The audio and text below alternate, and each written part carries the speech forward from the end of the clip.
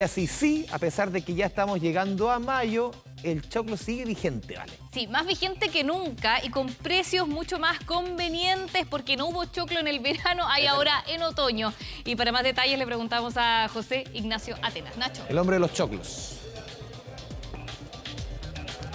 Así como están, eh, muy buenas tardes. Eh, claro, sorprende a varios eh, que están recorriendo las ferias, la Vega Central, el ver todavía la venta de choclos, que además está a un precio bastante conveniente. Lo hemos visto por lo menos acá en el recorrido que hemos hecho en la Vega, hasta 4 por mil pesos. Y si lo comparamos, si retrocedemos en el tiempo, en algún momento cada choclo llegó a costar mil pesos. Por lo tanto, obviamente ha ido bajando ese valor y eso lo agradecen bastante, sobre todo los amantes de las humitas, los amantes del pastel de choclo y de los porotos. Algunos incluso estaban pensando en comprar, aprovechar esta oportunidad porque queda poco, ¿ah? según lo que nos comentaban acá los propios eh, locatarios de La Vega. Mientras no llueva, no va a haber complicaciones con el choclo, pero los pronósticos ya comienzan a bajar, a, tener, o a pronosticar, bien digo, eh, que posiblemente puedan haber lluvias más adelante y eso eh, podría decretar el fin finalmente de lo que ocurre con el choclo. Pero por ahora están contentos, algunos están guardando, incluso congelando, pensando en el futuro. Conversamos justamente con consumidores y también con las dueñas de restaurante que nos dicen están aprovechando de vender lo máximo posible el pastel, el choclo, el poroto granado, el poroto con mazamorra y también,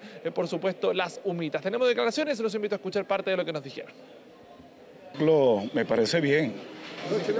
Está muy barato, está dan 4 por mil, algunos dan hasta 5 por mil.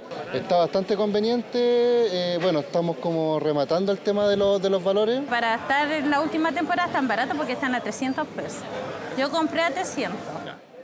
Ahí veíamos entonces eh, varios consumidores contentos con lo que está ocurriendo con este precio del choclo que como lo decíamos, hasta 4 por mil lo hemos visto acá en la Vega Central. Y las razones son variadas, lo decíamos, mientras no haya lluvia, comentaban los locatarios, va a seguir estando el choclo, pero también tiene que ver con una cosecha que eh, fue más tarde de lo que habitualmente se hacía, por eso eh, sorprende que esté hasta el mes de mayo y por lo menos nos decían acá en la Vega Central que al menos unas dos o tres semanas más podríamos seguir viendo choclos en distintos lugares, en distintos locales, aunque por supuesto ya está en la etapa final, por lo tanto el llamado que están haciendo es a si van a comprar, eh, guardar, congelar, puede ser muy factible para lo que queda de año. Conversamos justamente con expertos que nos explicaron lo que ocurre con este precio del choclo que está trayendo buenas noticias para los amantes de las humitas y el pastel de choclo.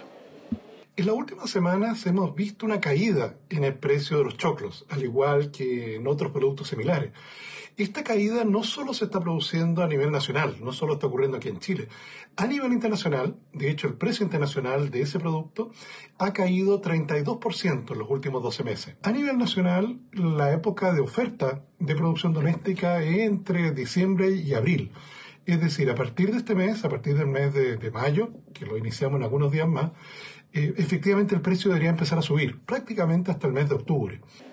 Aprovechar entonces esta última etapa del precio del choclo a recorrer porque dependiendo obviamente de locales también los precios, algunos son más grandes, otros más chicos, dependiendo ahí de los valores también que están entregando distintos locatarios de acá de la Vega Central, pero al menos por ahora, hasta mayo, hasta el quinto mes eh, del año vamos a tener pastel de choclo poroto con mazamorras y también unas ricas humitas para aquellos que quieran hacer en su casa. Más que bienvenido. Nacho Atenas, muchas gracias por la información. Buenas tardes. Gracias Nacho. Y si es automovilista,